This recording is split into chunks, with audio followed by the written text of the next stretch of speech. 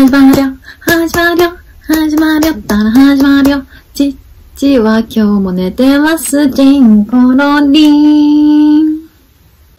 今日はですね、まあ、寒くなってきたので、シーンでお買い物をしてみたので、それを紹介していきたいと思います。なので、全然子育てとか子供とかには全然関係ないので、申し訳ございません。シーンってさ、今めっちゃ人気じゃん。安くて可愛いみたいな。で、まあ、仕事着をメインで買いました。まあ仕事のさ、お洋服って毎日着るからさ、結構洗う回数も多いから、なんか、あんまり高いものより安いもので、こう、まあか、どんどん買っちゃえるような感じのものと、あとは、ヘアアクセサリーとかいろいろ買ったので、紹介します。こんな感じで来たよ。ボーンって。結構25点ぐらい買って、結構こんな感じのぎゅぎゅ詰めでいらっしゃったので、まあ別に安いしいいかなっていう感じで紹介していきたいと思います。じゃまずは雑貨ちゃん系から紹介していきたいと思います。まず買ったのは、ピアス、ピアスがなんか、ピアスさ、なんか耳穴開けたの産後なんだよね。産後に初めて穴開けたの。出産して、すごくない？人生で初めて耳にピアス開けたの産後。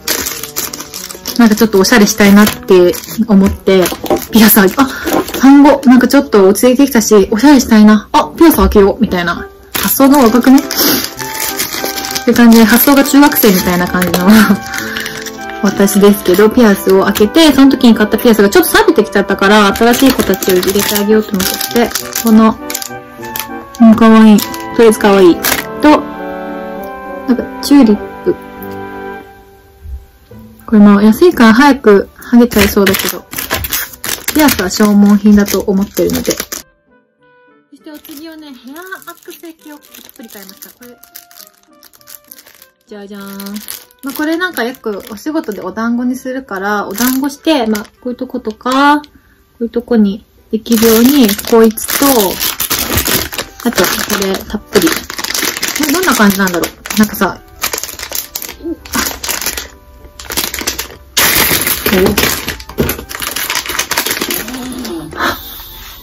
セーフ。あ、こういう感じね、結構。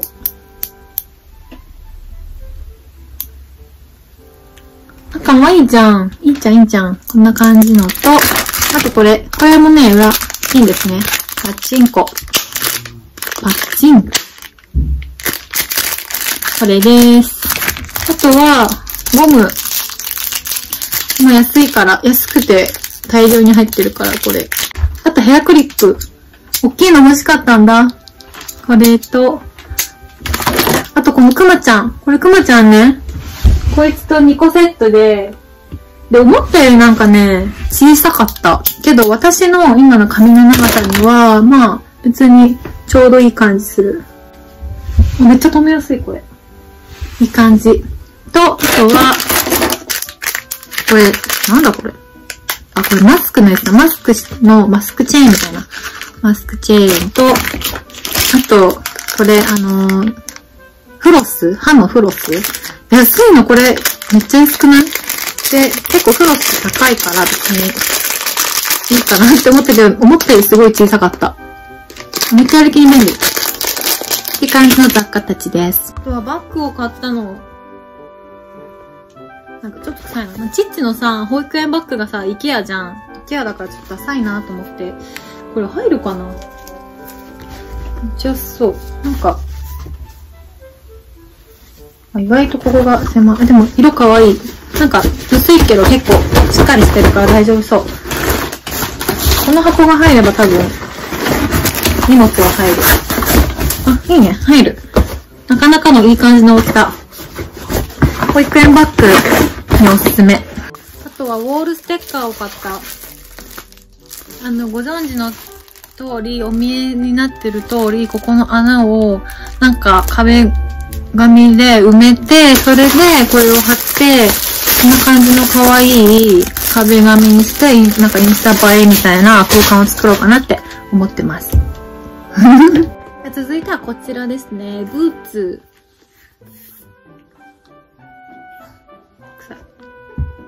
私24.5で、30ユユユーロの39にしたのかななんか、それぐらいがいいよって書いてあって、コメントにそれにした。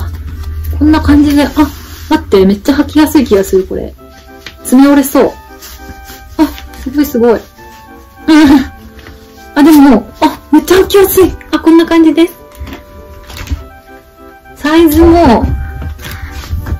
全然ぴったしって感じ。全然これでならどこまで歩いていけそうなぐらい、あ、履き心地いいかもしんない。あとね、靴下。靴下を買いました。私なんか靴下にこだわりがないから結構100均の靴下とか使ってて、もうこれも値段的に100均の靴下と一緒だけど、100均の靴下より全然伸縮性とかもあるし、厚みもあるし、全然いい。まあ、シンプルな感じで、ここだけひらひらがついてるの。6個セット。あ、あとこれも買ったんだ。これは、かわいい。もう29歳だけどこういうのつけたい。かわいい。こういう感じのネックレス。あ、かわいいじゃん。結構短いのかも。チョーカーっぽい感じで。今流行ってるもんね。こういうビーズ。こういうのをさ、あ、つけらんない。あ、ちょっとやってもらえる？いいよ、ほらほらつってやってくれる男の人いないかな？自分できたわ。じゃじゃーん。あ、いいね、かわいい。なんか、さあ、これつけてる人もうちょっとなんか短く見えたけど、そんなことなくてよかった。かわいいです。やっぱこういうのつけるだけでもお首が綺麗に見えて、最高。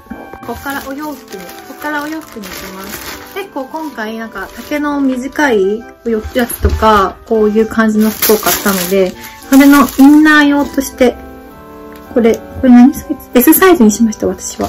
多分大丈夫、ちょうどいい。こんな感じ。結構薄いから本当に、下着みたいな。肌着みたいな。でもここのひらひらがちょっと見えたら可愛いよね、みたいな2個セット。白と黒のセットを買いました。続いてはこちら。お、いい感じ。ぴったり。サイズはぴったり。さっきのインナー着てみたけど、こんな感じだね。結構やっぱり、薄い薄いとは聞いたけど、薄いね。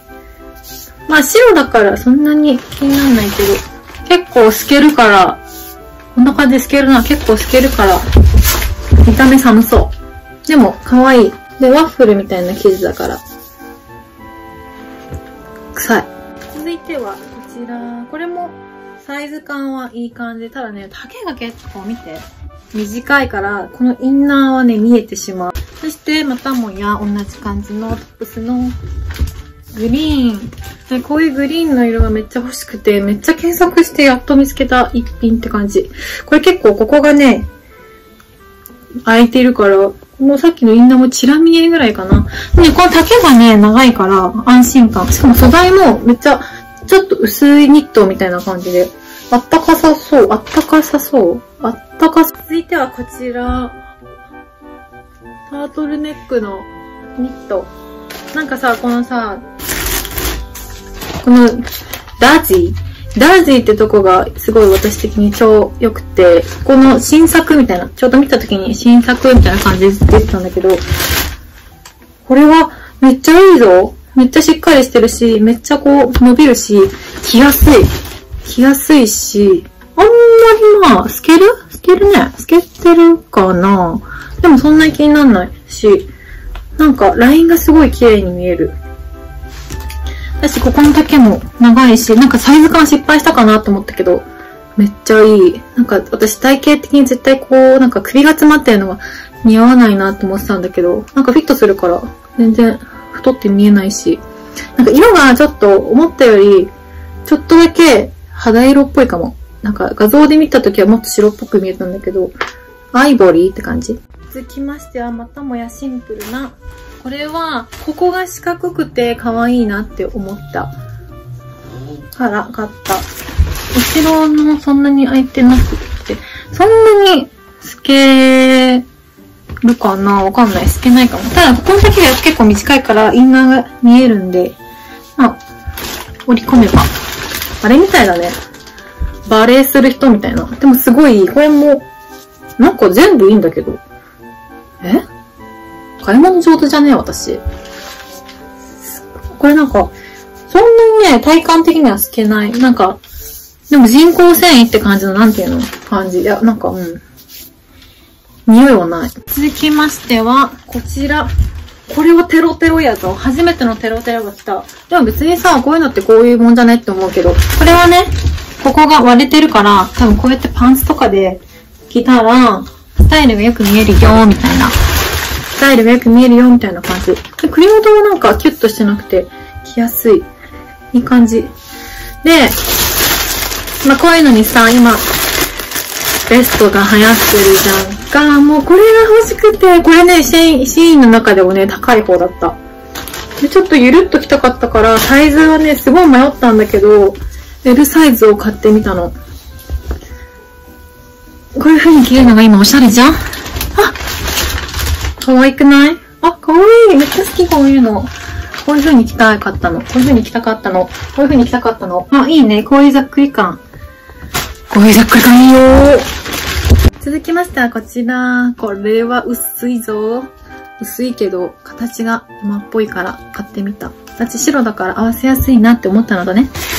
そこの、このコーディネートで、このパンツが、セットになってて、あ、このコーデで着たいと思って買ったの。大正解。全然いい。この人にちゃんとなんかあったかいの着たりとかなんか羽織れば全然いける。このパンツもね、見えないけど、こんな感じ。サイズよかった。サイズさ、なんかさ、これ M サイズ買ったの？でもさ、買ってからずっと後悔してて、絶対 S サイズの方が良かったかも良かったかもってずっと後悔してたけど、全然ちょうどよかった。いい感じのこの緩さが。できた。よかった。で、あとは羽織系で、このカーディガン。これもちょっと緩く着たかったからサイズ大きめで買ったんだけど、どう？あ、いいじゃん。あ、この感じめっちゃ好き。いいね。白がいいよ、結局。え、なんか燃え袖もできるし、いいね。燃え袖って今言わないかも。続きまして、こちら、また同じような感じなんだけど、これは、見て、ここが可愛いの。紐。これさ、ほどいたらさ、こんな感じなの？いつか洗濯した時にさ、片方引きちぎれてそうで怖い。これも、全然、素材めっちゃいい感じ。しかも透けないし。透けないし、なんなら今あったかいし。なんか、そんなにテロテロなもんないんだけど。そこまで。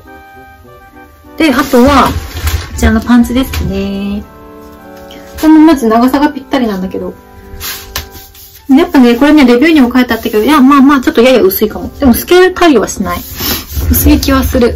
でも、まあ、別に、走れば暖かいしね、みたいな感じで、そんなに寒そうではない。ぴったり。本当にぴったり。ベルトもいらないって感じ。あ、出産してさ、なんかお腹が、ウエストさ、なかなかさ、絞れなくて、心配だったけど、産後の体型にもぴったりだから多分普通に、普通にみんな着れると思う。次はパンツに行きます。パンツ、これは、これさ、サイズがさ、これはもうサイズがめちゃくちゃ悩みなんだけどよかったわ。こんな感じ。この紐がさ、可愛くて。あ、おはよう。あ、起きてない。この紐が可愛くて買って、これさ、M サイズなんだけど、他のパンツは大体 S で買ったから、あ、やばいかなと思ったけど、全然この感じの緩さが良かったから、いい感じ。ただね、やっぱレビューにも書いてあったけど、この丈が、なんか、こうやってさ、折ってかい、可愛い感じに履きたかったんだけど、ちょっと短いかも。でもまあ、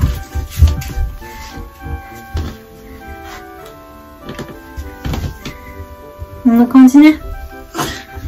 うん。全然いい。起きた？おはよう。起きたえ？おはよう。最近このさ、もこもこのさ、お布団にしてからさ、潜りがち。潜りがちじゃん。ブーった。ブーって言っちゃった？夢目でも見てたの？あとさ、もうちょっとで終わるからちょっと待ってて。次はこのパンツです。ちょっとこれお腹が緩かった。けどこれはこんな感じで、ばっくり、ばっくりってしてて可愛いなと思って。素材もね、そんなになんか、まあ、薄いかも。薄いけど、別にいい感じ。なんか、就活スーツ、就活用のスーツの夏用みたいな、あ、まあ、制服の夏用みたいな感じの薄さと素材感。で、最後はこちらのパンツです。これはね、ハイウエストで、なんか、ウエストが綺麗に見えるみたいな、ちょっと産後のぽっこり感が目立ちますけども、かわいい。これはね、裾とか何にも見えてないの？これ。で、ウエストがキュッてなってて、綺麗に見えるよ、みたいな。あ、これもめっちゃいい。これも、さっきよりはこっちの方が素材がしっかりしてる。透けないし、別に。透ける感じもないし、しゃがんでもお腹が苦しくない。なんかさ、ウエストがキュッてなってるパンツってさ、しゃがむとさ、苦しいみたいな感じになるけど、それもないし、これめっちゃ、いや全部良かったんだけど、全部良かったんだけど、いい、悪かったのない。しかもさ、シーンのさ、何がいいってさ、なんかさ、安いパンツとかってさ、ポケットついてないじゃん。ついてんのよ。マジ私さ、カバン持つの嫌いでさ、何でもポケットに突っ込むタイプだからさ、ポケットない服着るとマジで瀕死状態になっちゃうからさ、え、超最高なんだけど、ちっち。以上が今回私が買ったものたちです。まあ私の中で一番驚いたのが、これ靴かな？なんか安い靴って、どうなん？って心配だったけど、そんなに硬くもないし、履き心地も良さそうだし、なんかワンシーズンで流行ってるものとかと全然いける。ね、ちっち。で、シーンはマジ何でも売ってる。何でも売ってるんだけど、唯一売ってなかったものがあったの。それが、お名前シール。シール。ね、シール。お名前シールさ、なくなっちゃったからさ、欲しかったんだけど、さすがにそれはなかったわ。でも、なんか今度は子供服とかも買ってみようかなーなんて思ってるけど、また買った日には紹介したいと思います。じゃあちっと今日バイバイしよう。ちいちゃん寝ていたけど、最後起きてくれてありがとう。で、今回もご視聴ありがとうございました。バイバーイ。